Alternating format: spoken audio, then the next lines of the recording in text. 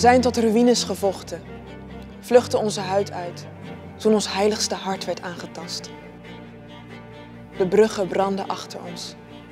Vreemde voeten trapten ons de grond in, vernietigden met elke stap.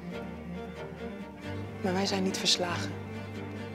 We stapelden elke steen terug tot kerk, bouwden nieuwe huizen op de as en vormden ons verleden zonder te vergeten tot nieuwe toekomst tot nieuwe stad.